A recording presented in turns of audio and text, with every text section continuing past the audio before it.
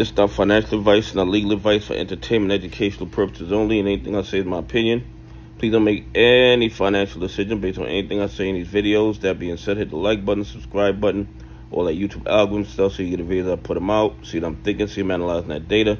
But like I tell every day, the data they release us is false. I'm going to give us a false narrative of the market so we can make bad trading decisions. Listen, every well, not every single day, but almost every single day, we have a buy imbalance with AMC. And when I say a buy imbalance, I, have brought this up in, in the past, but I don't think I've explained it in detail the way I analyze it. And this is just my opinion. I'm not telling you to buy, hold, or sell AMC. I'm just telling you that every day there are more buyers than sellers. And you might think, well, that's really nothing, Donnahue. But but let's let, us think about this realistically. Let's think about this by the numbers. Every single day, they produce about 20, 30 million shares available to short. 20, 30 million. Let's say 25 million every day. And every day, they're bought up. Every day, these, well, counterfeit shares or tokens are bought up you know the fail to deliver. They're never going to be delivered. They, they're using tokens to make the appearance of delivery. I mean, it's the biggest Ponzi scheme in history. But every single day, they're creating 25 million new shares available to short, and they're being bought up. They're being bought up to the point where you have more buyers sitting on the sidelines wanting to buy the AMC counterfeit shares and there are none available. So if every day they're doing 25 million shares and they're being bought up, they're being bought up, they're being bought up, what are we talking about?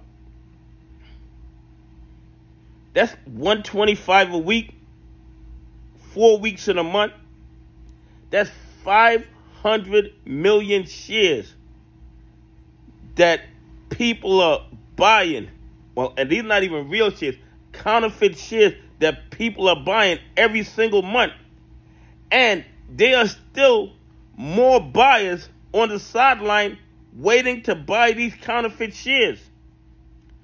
How does the SEC not see a problem with this? How does the DOJ not see a problem with this? How, how does the CIA not see a problem with this? This is a threat to our national security. You have bad actors who can manipulate our market at will whenever they want. And if everybody don't see that this is a ticking time bomb, they're just adding counterfeit shares on top of counterfeit shares on top of counterfeit shares on top of counterfeit shares. And they're all being bought up. And there's still more buyers than sellers.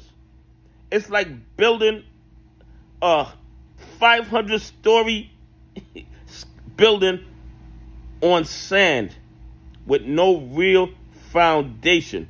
When this thing crashes, it's going to be ugly. It's going to take down the entire economy, in my opinion. And I'm not saying to buy, hold, or sell AMC. I'm just telling you that every single day they're creating 25 million counterfeit shares, and every single day they're all bought up with buyers sitting on the sideline to buy more.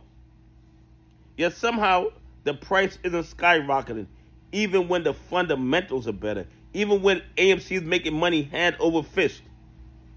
Yet our regulatory agencies don't see a problem. Absolutely crazy to me.